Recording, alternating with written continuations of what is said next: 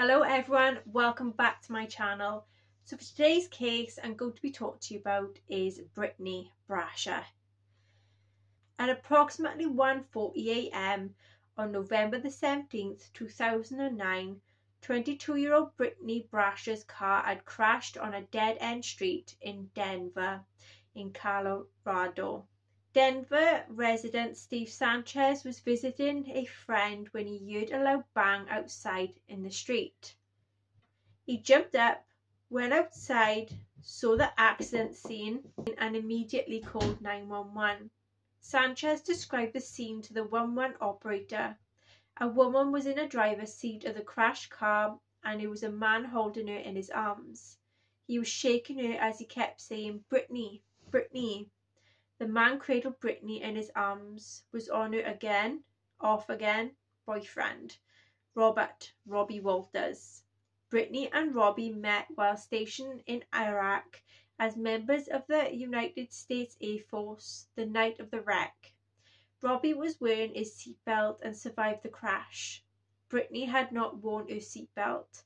At first it looked like a young, bright, attractive and athletic Brittany Seeing Hugh and her brother John had been a victim of a tragic car accident. Things didn't add up for Brittany's father, Barry Brasher, when he heard Brittany had not been wearing a seatbelt on the night of the crash. There was a red flag that went up for him. She would never move a car without putting her seatbelt on, never. Investigators, including homicide detective Troy Biscard, were troubled by the crash scene. It looked staged. Why was a car found at the end of a dead end residential street? Were Brittany and Robbie lost? Medical examiner John Carver also had questions about how Brittany died. His autopsy revealed that she had not had any significant injuries to her limbs, internal organs, neck, spinal cord, skull, or brain. The injuries Brittany did have were not what Dr. Carver had expected to see. His examination revealed a pinpoint hemorrhage on the skin of her face and surrounding her eyes. These were telltale signs that she may have been strangled. Strangulation was hard for Dr. Carver to confirm because Brittany was born with a piece of cartilage in her throat. Cartilage that is often crushed in the strangulation with no physical evidence to prove that she was strangled, the medical examiner had no choice but to list Brittany's cause of death as undetermined. Undetermined meant no ruling of homicide. Still, Detective Biscard felt that Brittany's death was not an accident. The more he learned about Robbie Walters, the more convinced he was that Brittany was murdered. Brittany Brasher was an athletic young woman who played on an all-girls football league on the night of the accident. She went to a nightclub for a photo shoot with the rest of her friends, which was her teammates. Robbie ended up coming to the photo shoot even though he and Brittany had broken up yet again.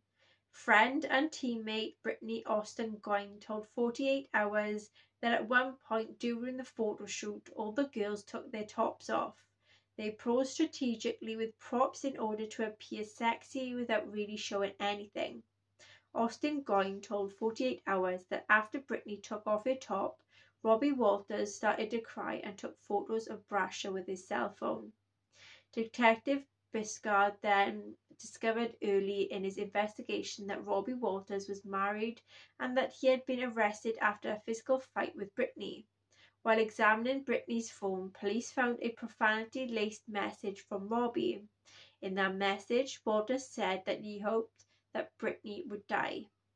Detective Biscard wanted to talk to Robbie Walters' wife Elena, but he knew that he couldn't force her to talk to him. Then four months into the investigation, Biscard got word that Robbie had been in a big fight with his wife. Looking for any possible shred of new evidence, he gave Elena a call. He said that once she started talking, she never stopped. Elena Walters told Detective Biscard that Robbie had confessed repeatedly to her that he had killed Brittany. She also told Biscard that she secretly made over a dozen cell phone recordings of her conversations with Robbie. In these recordings, he gave graphic and precise details of how he beat and strangled Brittany. Dr. John Carver, the medical examiner, told 48 Hours that Robbie's confessions explained the things that was puzzling him at the conclusion of Brittany's autopsy. Her injuries fit very well with what Robbie's description of how he punched and choked her. Elena Walters' information was all Dr. Carver needed to change the manner of Brittany Brasher's death from undetermined to homicide. Three days after talking with Elena, Detective Biscard arrested Robbie Walters. Prosecutors Helen Morgan and Phil Geigel now had plenty of ammunition to build a case. At trial, they used Robbie's own recorded words against him. They theorized that on the night that she died, Brittany and Robbie got into a argument. After this photo shoot, he lost his temper and he had killed her. Robbie Walters was convicted and sentenced to life without parole. At Robbie's sentencing, Brittany's sister Sarah Senior addressed the court on behalf of her family. Despite being nervous, she wanted everyone in the courtroom to hear her memories of her beloved sister. Okay, then, everyone, so that is the case of Brittany Brasher. If you enjoyed this, please like, share, subscribe, hit the notification bell, and I see you again next time. Take care. Bye bye.